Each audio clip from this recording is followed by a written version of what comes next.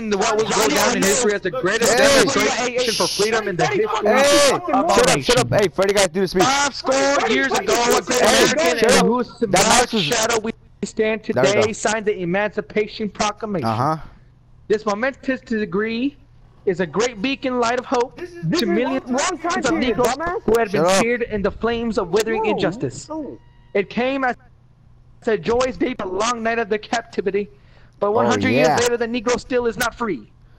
100 years later, the life of the Negro is still badly crippled by the manacles of segregation Ooh. and the chains of discrimination.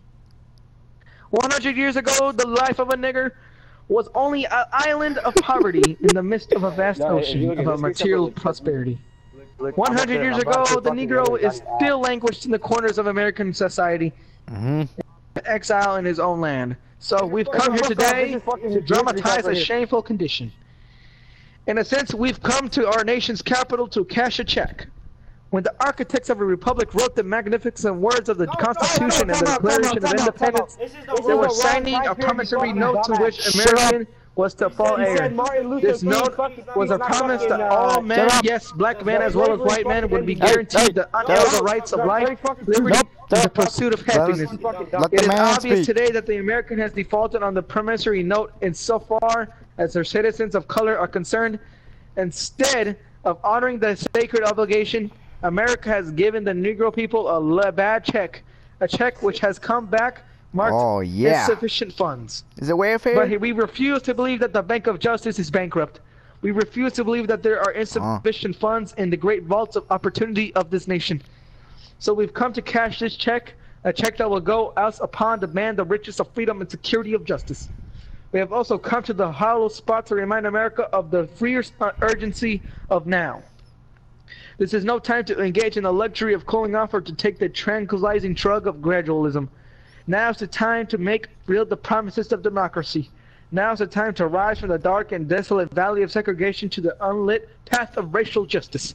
Uh huh. Now's the time to lift our nation from the quicksand of As- racial as injustice you guys can see in to the this photo, solid uh, rock of brotherhood. I brotherhood. try to save Edgar and Johnny. Now is the time to make justice a reality I- for all over But of it God's children. I would keep it It would be fatal for the nation to overlook the urgency of the moment. The sweltering summer of the Negro's legitimate discontent will not pass until there is an invigorating autumn of freedom and equality.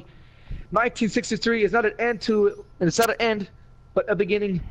Those who hoped that the Negro needed to blow off steam and will now be content will have a rude awakening if the nation returns to business as usual. There will be neither rest nor tranquility in America until the Negro is granted his citizen rights. The whirlwinds of revolt will continue to shake the foundations of our nation until the bright days of justice emerge. Oh yes. And that is something And, that I uh, must say to my people you're- You don't want to build stand 15 on the war cards. You wanna have threshold which leads into total, the palace so of can get the justice. most out of Harry. your points. In the process Keep of it down. gaining a rightful place, we must not be Sorry. qu- guilty of the wrongful deeds. It is not seeks to satisfy our thirst for freedom by drinking from the cup of bitterness and hatred. We must forever conduct our struggle on the high plane of dignity and discipline. We must be not allow our creative protest to degenerate into physical violence. Again and again, we must rise to the majestic heights of meeting physical force with soul force. The marvelous new militance which has engulfed the Negro community must not lead us to the distrust of all white people, for many of our white brothers, as evidence of their presence here today, have come to realize that their destiny is tied up with our destiny. They have come to realize that their freedom is inextricably bound to our freedom. We cannot walk alone, and as we walk, we must take the pledge that we shall always march ahead. We cannot turn back. There are those who are asking the devotees of civil rights, when will you be satisfied? We can never be satisfied as long as the Negro and the victim of the unspeakable horrors of police brutality. We can never be afraid to be satisfied as long as our bodies, heavy with the fatigue of travel, cannot gain lodging in the motels of the highways and the hotels of the cities. We cannot be satisfied as long as the Negro's basic mobility is from a smaller ghetto to a larger one.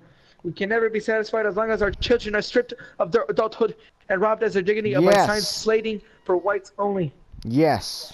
Satisfied as long as the Negro in Mississippi cannot vote and the Negro in New York believes that he has nothing for which to vote.